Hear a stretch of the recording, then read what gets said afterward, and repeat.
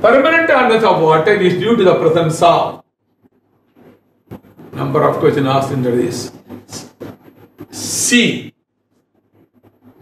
Chlorides and sulfates of calcium and magnesium. It is the correct answer.